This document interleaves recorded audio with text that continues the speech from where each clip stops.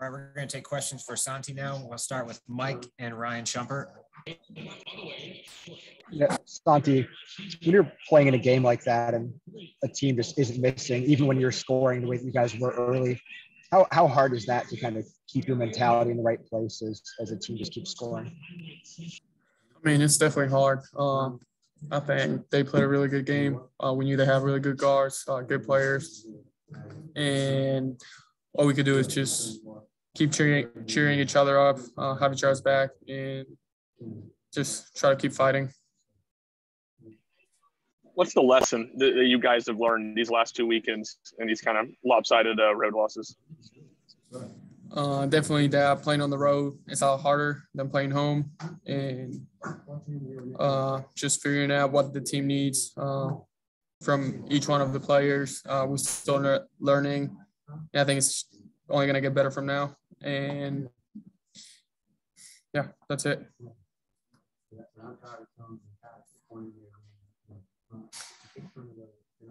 David Paschall and Grant. Santi, there was a point about six minutes into that second half where Washington and Wheeler were like a combined 15 of 17 from the floor. Had you have you ever experienced kind of a game like this where where opposing guards just were not missing? I mean, like I said, we knew they had good players. Uh, they starting to feel good. Uh, they were making shots. The crowd got them going too, and it was really hard to stop them. Both of them are uh, quick guards, and they can score the ball.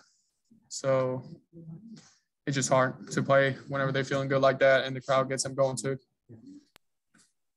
It's hard to take any positives away from that game, but do you guys take any positives away from the way the, the offense made shots and, and put some points on the board?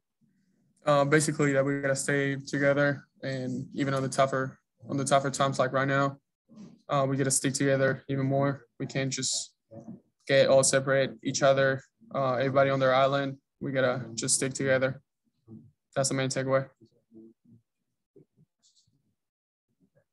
Wes and Ben.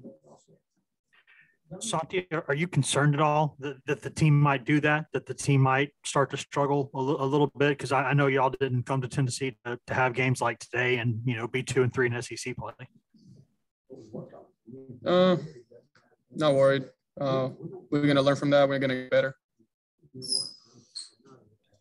So, Santi, I know you said that you felt like Kentucky just kind of got hot and was making everything, but did you see anything schematically, X's and O's wise, that went wrong for y'all defensively? Could you repeat that, please? Just kind of what went wrong defensively. I, I know you said you felt like Kentucky was just making a bunch of shots, but was there something that you all weren't doing uh, in addition? Uh, when you, uh, especially their guards, were going to be good. And they showed it tonight. They were fast. Uh, they were making shots, and I think pretty much that they were all making shots. So just gotta know, and uh, it's just hard to play against those kind of guys when they get it going right now, uh, and the crowd gets them going too. Last two, Ryan and Reese. Do you feel like player leadership is a weakness for this team right now? Uh, no, definitely. I don't think it's weakness. Uh, and I think this moment's uh, it's going to help us be more to find out uh, who's going to step up in that role. We have a lot of players doing it, and I just think that we're going to get better in that aspect too. And this other times that we're going to learn even more. Santi, Coach Barnes said that Brandon Huntley Hatfield has had a change in attitude in the past two days. Have you seen that change in attitude and what has been different with him? He definitely had a uh, different attitude. Uh, in practice, you could see him uh, engaged every single time.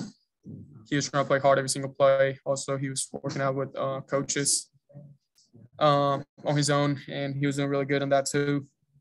So I think he definitely had a different approach, and that showed tonight. Uh, I think in the minutes that he had, he showed a lot, and he showed also a lot to himself how he can import, uh, how can he help a lot in that way to this team.